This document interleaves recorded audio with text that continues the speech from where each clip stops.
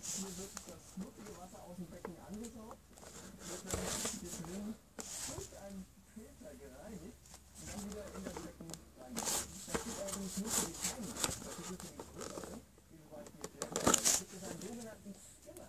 Und da die Kumpel schon recht teuer war, schauen wir den einfach rüber.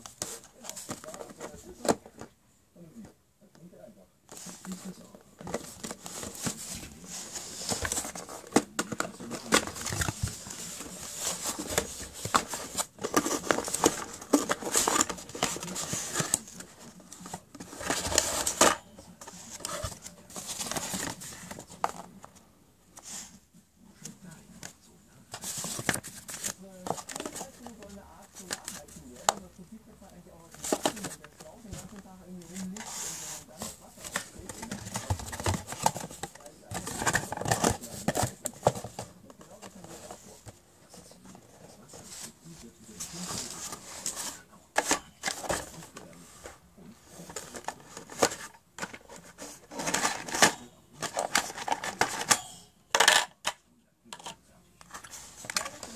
Será?